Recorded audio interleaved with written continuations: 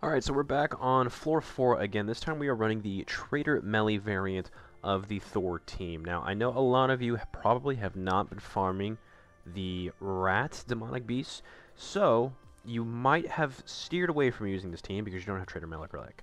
Well, uh, you'll be happy to know that I don't have it either. And we're going to try this team and see how well we can do without the Relic. Uh, I can't show that I don't have the Relic, but I promise you, we'll see that uh, in game. So the gears this time around, I took off literally almost everything that was crit defense related and just went with normal defenses in the middle because I feel like I wasn't taking that much damage when I was doing the full unknown team. Granted, we did have Nanashi, so we did have a lot of defense buffs, but I think Meg is probably the weakest defense-wise, so I left crit defense on her substats, but I still have crit damage as the uh, the main stat there. And then again, obviously everybody's on attack crit except Diane since she's our tank, but the taunt and Red Tarmiel there, she's got normal HP defense. And uh, the card set's still going to be the Deer set because obviously it's in a mono race team, and that is going to be our best set. So let's go ahead and jump into it. Alright, so we're starting up phase 1. Just like we've mentioned before in the last video, the idea here is going to be saving up 3 rank 2 attacks. And since we're using Traitor Meli, what we want to keep in mind is using five single targets as fast as we possibly can so that we can keep up his uh, maximum amount of gray buffs as early as possible. So, we're kind of just burning cards here, right? Got this Amplify coming out, build up the lightning damage pool for Thor. And obviously we're going to want to try to keep up the end shield. So, uh, we actually have two rank 2s. Wait, is that three? Oh, that is three. Hold up. We got a double, Thor and a Meli. Okay, pretty dope. But that's a lot of cards, right? Um, those are all pretty big damage cards. Um, that kind of leaves us with not a lot of wiggle room, I feel like. So I'm going to space out these amps, actually. We, we, we need the, the card draw. We need the space to uh, deal some damage, right? Like, I could let three rank 3s, rank 2s, I should say, sit in my hand. Plus this heal. That's going to cuck our draw for a while, so... Uh, I'm confident we can get another rank 2, which we did in fact do with this heal. The heal or the stance would count. It does not have to be an attack. However, we're probably going to want to burn both of these heals right here, right? Because we've got the block skill, um, and we have to worry about co-destruction, which scales based off debuffs. So if we double heal, the only debuff we'll have is a bleed on Diane, which we can work with. And that will probably be not a lot of damage from uh, the bird, if that's the case, which we'll see here in a second. Plus he's ulting, so, I mean, we definitely want the double heal, because I believe she's giving us an all-stat increase buff on top of the heal, so... I mean, why not? Why not take it, right? So we'll see. Here's Co-Destruction. Like, no damage. More damage on Meg than it was on Dan, funny enough. Uh, the ult doesn't really do anything either, so we're chilling. And did we get another rank 2? We did, we did. So we're actually all set to uh, transition here. Um, does that kill? Uh, I could also get Diane actually. Would that be worth? Could move and use the taunts. It's the same skills that get used, right? Surely... Surely the Thor will... Oh. 400k from the Megal. Alright, I wasn't expecting that. But I guess that'll work. So now we have to use our rank 2s, right? So we're going to go ahead and do that. And that's going to pop, what is it, three crit chance downs? Gray buffs on him, which will get removed, and then we'll have our uh, shield, which allows us to... Uh, I think that's pretty much how we are able to deal damage on this phase, because as you can see, the damage is really not there, right? It's a significant drop than it was compared to phase 1, so... We'll get Harry's Focus Protection. Uh, the crit chance actually is still there. His crit chance down. I think we get decent damage as long as we have that shield up. And then obviously it's a free shield, right? So why not try to keep that as active as possible? And at any point, if we lose the shield on all of our units, again, we can just triple rank 2 and we'll get the shield back, so... We're going to go ahead and stance again. We'll Thor ults, um, and then we'll have Thunder God's Judgment, which we can get a proc off of on her rank 2 here. And then we could Diane ult. It's not going to be a lot of damage, and by extension, it's going to be an even worse heal, because it's you know, Quell, and then it's also, I believe we have a 160 and, so that's not fun. We do about a little over 50% HP, so we're looking good. The AoE is going to miss. Love that. And we're still obviously attacking into Diane. Red Tarm Grace not kicking in for the debuff, but uh, we're still getting the heals, which is nice. Uh, we got a couple heals also. Uh, I think since we're pretty much below half HP on Bird, we want to start setting up for Phase 3, which is the Immortality phase. And that is circumvented by having a lot of Amplify attacks and Thor attacks. So, we're to see what we can do here. Try not to burn as much uh, amps and stuff as we can. I think on this next phase, he probably breaks shield on everybody.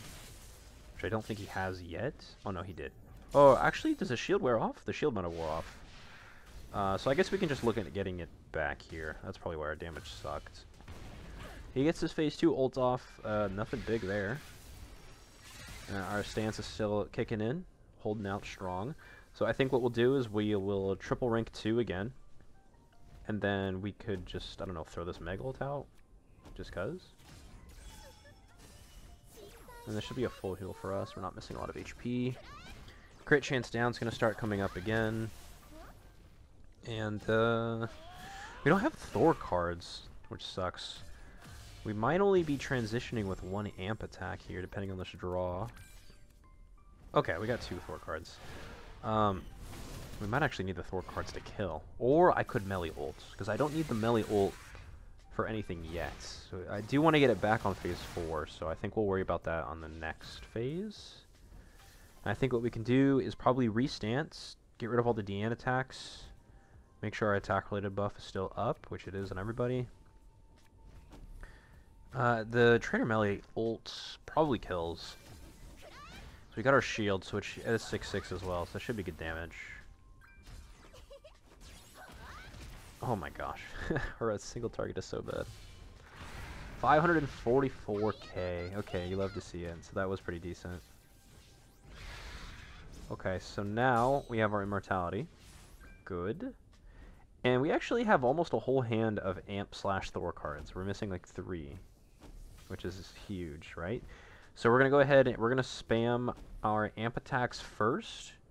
I'll get rid of the Deanna ults and then every time you do attack on phase 3, if you can, end the attack rotation with Thor's card, Thor attack.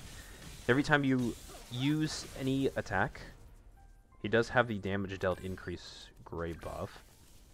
Even if you are attacking with Amplify. So Amplify removes Immortality, and then only Thor's attacks are what remove damage dealt increase stacks. So, as you see, he's only left with one right now. I think we're at, what, eight? Eight or seven? One, two, three, four, five, six, seven. Three, six, yeah. Okay. Uh, this is actually a pretty solid hand. We have literally full... I'm going to do a full rotation of Thor and Amplify attacks, so that will probably put Bird down to zero. And uh, leave him with four immos? Yes. No, three. Oh, that's perfect. Okay, so I think this is the fastest you can do phase 3, right? Is in 3 turns. He has 10 immortality stacks. You get 12 attacks in 3 turns or 8 in 2 turns. So, yeah. 3 turning this is dope. Obviously, you don't want to take any longer than 5. I think on the 5th turn, he does the attack seal. And then you're cooked. Unless you can push for ults and then kill with your ults. But this team doesn't have an Amplify ult. And then... Uh, you pretty much just have to cycle Thor ult uh, like a million times in order to beat it at that point. So, uh, and then even if you could, I believe he ult locks after the attack lock, so it's really irrelevant. If you get attack, still just reset. But we're able to push through there, and now we're on phase four. Oh my god, is that the revive? Ugh, it's not even overcome crisis. So the revive sucks. Um, we had overcome crisis in the previous video, so that's when you get him to 20% HP and then you one-shot him. Otherwise, he full heals with an all-stat buff. In this case, um, we can get him low, and he's going to revive at 50% HP, so we have to deal with a revive no matter what. So we're going to get our shield back up. We're going to attack with Thor.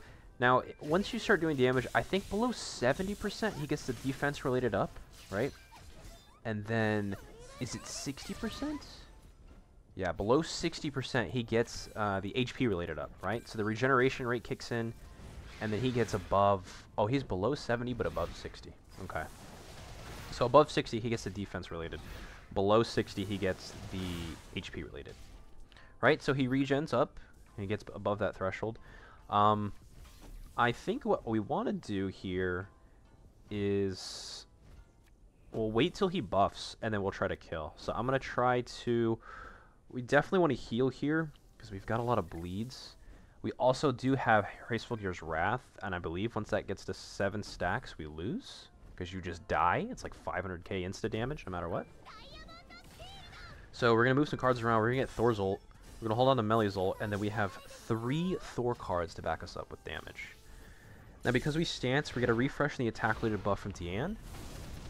And we should have, like, I don't want to say maximum potential, because we're missing all stat increases from Meg Relic. But we're in a pretty good spot. Okay, so we're gonna we're gonna Diane. Sorry, no, we're gonna Meli, Thor. No, we're just gonna Meli and then triple Thor actually. So that removes the buffs, right? So we had basic stat buff and evasion. Oh my god, a million, over a million damage. That's crazy. And then it looks like below 30% HP, he has an attack related uh, increase. So we hit the uh, hit the revive. Thor's attacks are coming in clutch with Thunder God's Judgment. That's giving us that extra damage. Uh, he gets his ult down. Even Phase 4 ult doesn't look too crazy. Uh, I mean, it's definitely decent damage. Almost half HP to everybody. That AoE sucks. And this is actually the last turn. I think we're at, what is it, 7, right? I think we're at max stacks of Hraesvelgir's, Hraesvelgir's Wrath. So uh, we literally have to kill here or we just die. And he has add, looks like 600k. And we have, I mean, three Thor cards and a Meg ult. So this should do it. We'll see what this damage looks like. I don't think we have anything... Do we have damage stored up on her passive? Probably a little bit. Yeah, just a little bit. Uh, only two cards needed. Okay. So, it's definitely doable, uh, but it is kind of copium because you do have to rely on multiple Meg heals to get your cleanses. But that is going to be the Traitor Meli team without his Relic. If you guys like it, drop a thumb, maybe sub if you're into that, and I'll see you in the next one.